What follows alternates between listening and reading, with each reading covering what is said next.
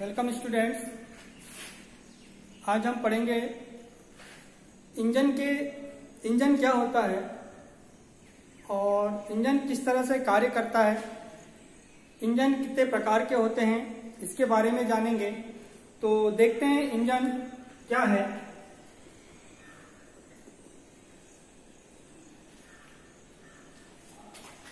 Engine एक ऐसी device है जो हिट एनर्जी को मैकेनिकल एनर्जी में कन्वर्ट करता है। इंजन के टाइप्स के बारे में जानते हैं। इंजन कितने प्रकार के होते हैं तो देखते हैं। टाइप्स ऑफ़ इंजन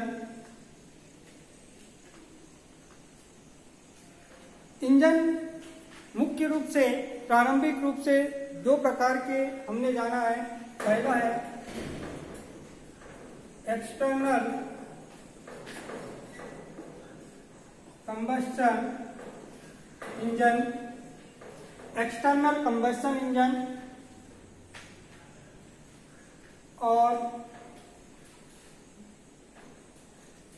दूसरा होता है इंटरनल कंबस्टन इंजन तो देखते हैं एक्सटर्नल कंबस्टन इंजन और दूसरा होता है इंटरनल कंबस्टन इंजन तो एक्सटर्नल कंबस्टन इंजन को दो भागों में डिवाइड किया गया। पहला है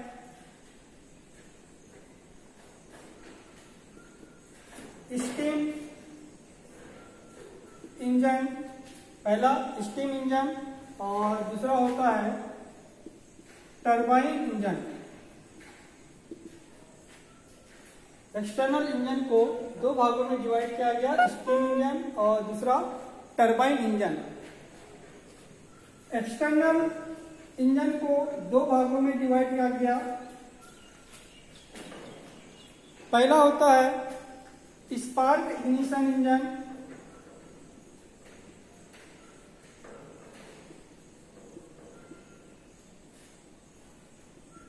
और दूसरा होता है compression ignition engine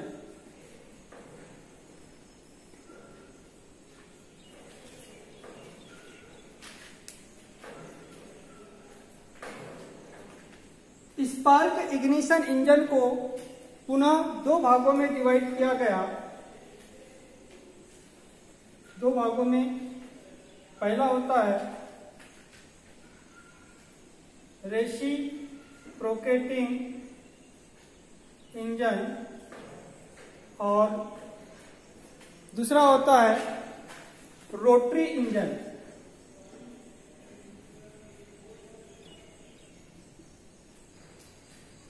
Spark ignition engine को दो भागों में बना रेसिप्रोकेटिंग इंजन और दूसरा होता है रोटरी इंजन। रेसिप्रोकेटिंग इंजन को फिर दो भागों में डिवाइड किया गया है। Four stroke engine.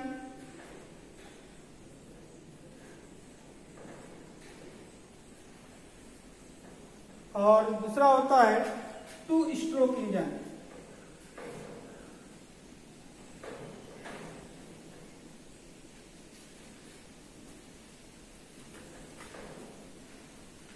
उसके बाद कॉम्प्रेशन इग्निशन जो होता है, ये दो प्रकार से होता है।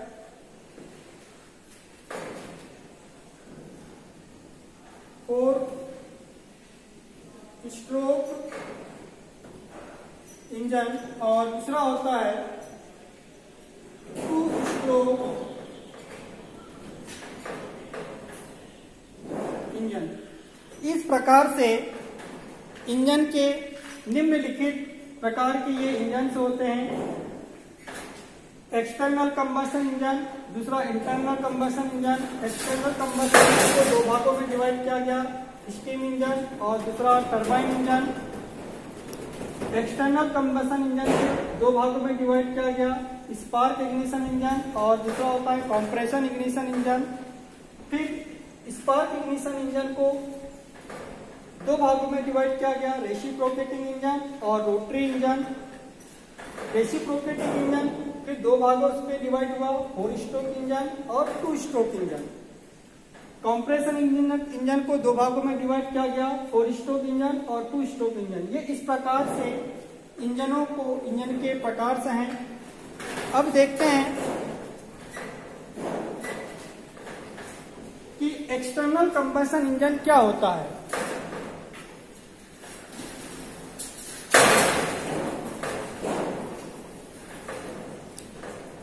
एक्सटर्नल कंबेशन इंजन एक ऐसा इंजन होता है जिसमें ईंधन को इंजन के बाहर चलाया जाता है। भाई, नाम से स्पष्ट होता है कि एक्सटर्नल मतलब बाहर कंबस्टन मतलब जलाना। इंजन के बाहर ही ईंधन को जलाकर हीट एनर्जी से मैकेनिकल एनर्जी में परिवर्तित करता है ये डिवाइस तो देखते हैं ये किस प्रकार से कार्य करता है। इस एक्सटर्नल कंबसन इंजन में एक बॉयलर का प्रयोग किया गया। इस बॉयलर में पानी फिलअप कर दिया जाता है और एक ट्यूब के माध्यम से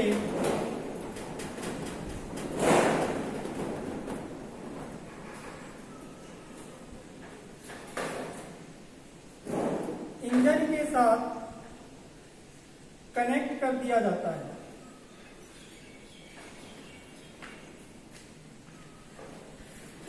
और इस बॉयलर के नीचे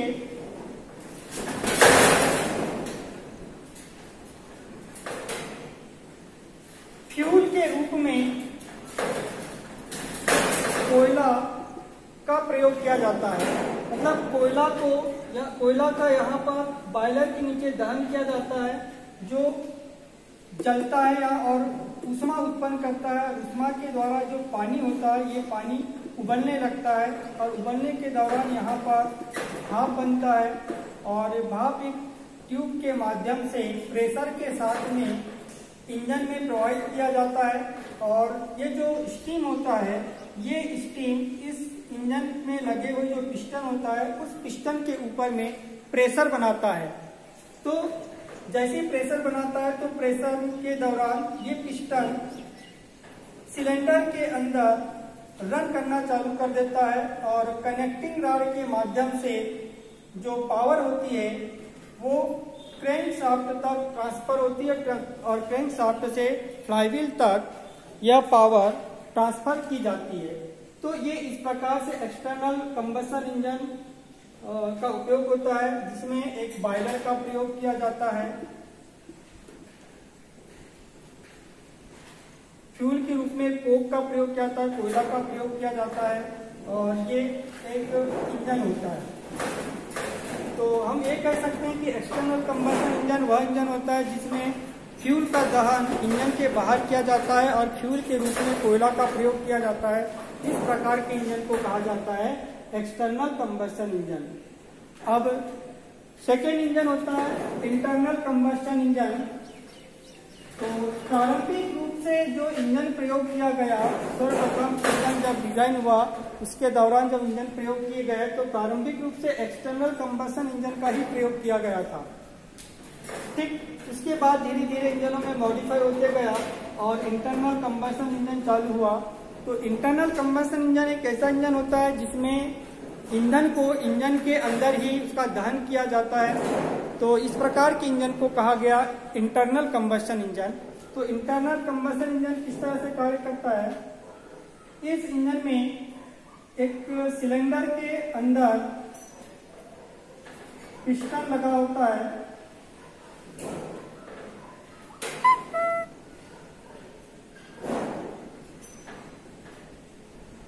यहाँ इस इंजन में दो वाल्व प्रयोग किए जाते हैं। एक इनलेट वाल्व और दूसरा एग्जास्ट वाल्व इस इंजन में यदि डीजल इंजन है तो एक इंजेक्टर का प्रयोग किया जाता है और यदि पेट्रोल इंजन है तो एक स्पार्क प्लग का प्रयोग किया जाता है।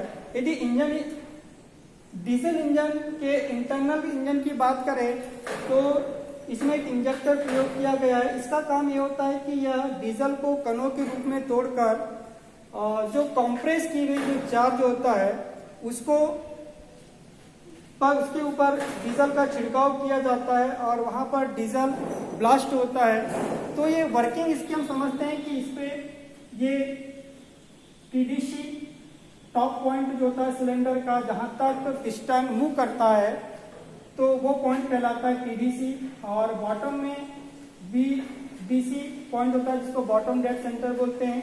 तो ये पॉइंट वो होता है जहाँ पिस्टन टीडीसी से बॉटम की ओर, जिस चरम बिंदु तक आकर ये रुकता है, जिस चरम बिंदु पर उस पॉइंट को कहा जाता है।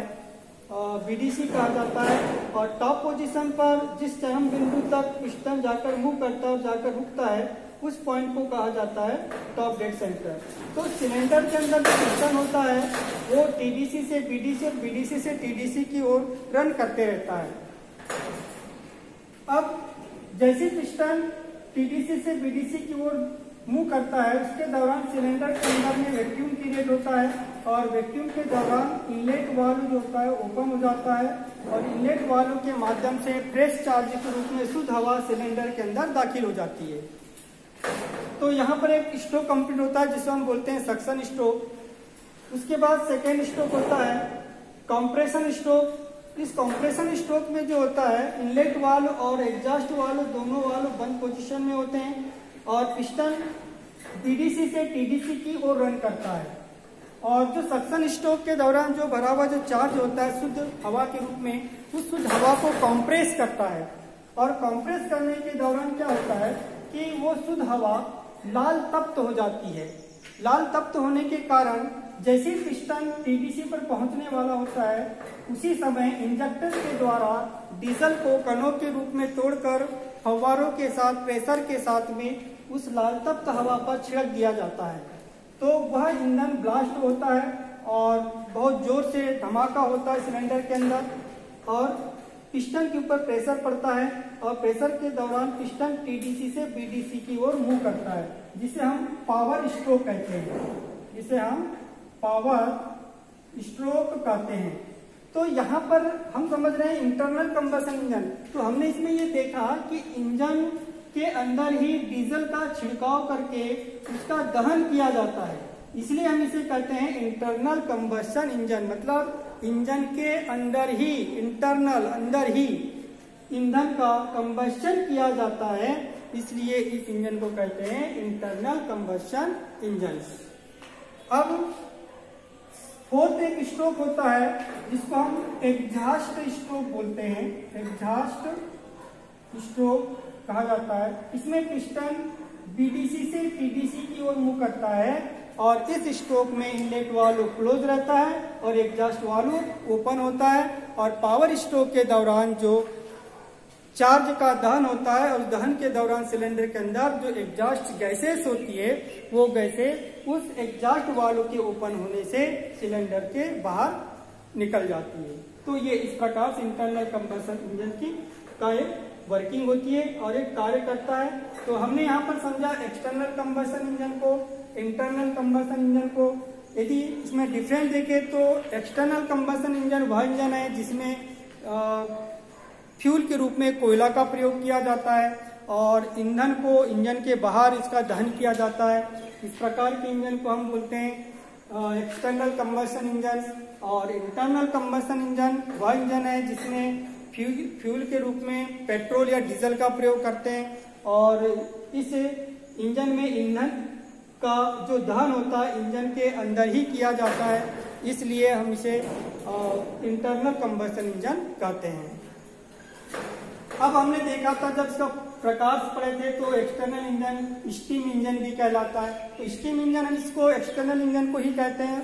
उसका कारण ये होता है कि एक बॉयलर में पानी में फिलअप कर दिया जाता है जो पानी से आ, पानी जो उबर कर जो उसका स्टीम बनता है उस स्टीम के प्रेशर से हम इस इंजन को चलाते हैं। इसलिए इस इंजन को स्टीम इंजन भी कहा जाता है।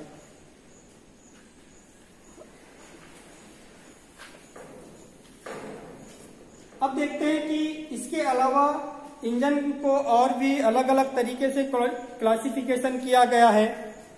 जैसे स्ट्रोक के आधार पर हमने देखा, स्ट्रोक के आधार पर दो प्रकार के इंजन प्रयोग किए गए, फोर स्ट्रोक इंजन और टू स्ट्रोक इंजन। फ्यूल के आधार पर क्लासिफिकेशन कर इंजन का तो पेट्रोल इंजन और डीजल इंजन। और कूलिंग के आधार पर यदि क्लासिफिकेशन कर इंजन का तो ये दो प्रकार के इंजन होते हैं। एक वाटर कूलिंग सिस्टम और water cooling, water cooled engine और दूसरा होता है एयर कूल्ड इंजन।